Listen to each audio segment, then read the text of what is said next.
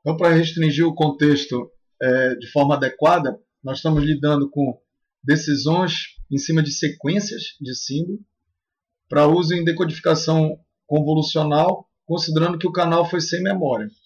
Então, quem cria a estrutura é esse código convolucional, já que o canal, como está sendo indicado aqui, ele é sem memória.